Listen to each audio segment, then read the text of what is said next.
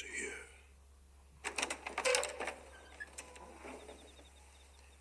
Gandalf. I thought you said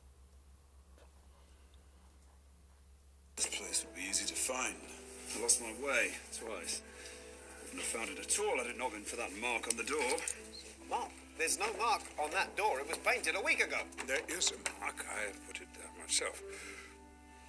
Bilbo Baggins, allow me to introduce the leader of our company, Thorin Oakenshield. So, this is the Hobbit.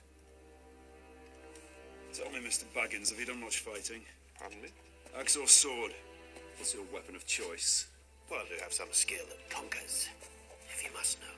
But I fail to see why that's relevant. Thought as much.